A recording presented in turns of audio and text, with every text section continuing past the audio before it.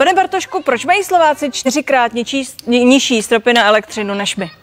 No, protože se tak rozhodla vláda, ale já chci říct, že česká vláda to dělá dobře, protože když se podíváme zpátky, co nám doporučovalo hnutí ano kolem pohoných hmot a říkali, zachovejte se jako Maďaři a dejte tam strop, a dneska vidíme, co se stalo, kdy došlo k uvolnění cen a najednou litr benzínu vyskočil o 10 korun a rozjela se tam inflace. Když se zamyslíte na to video, je to, tak Slováci to mají čtyřikrát nižší, ale my to děláme dobře.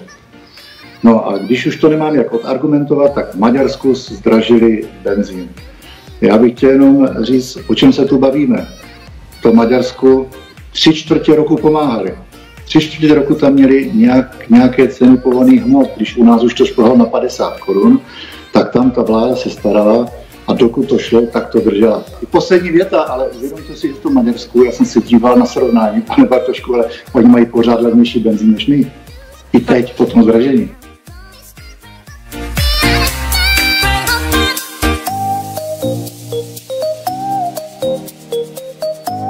Pane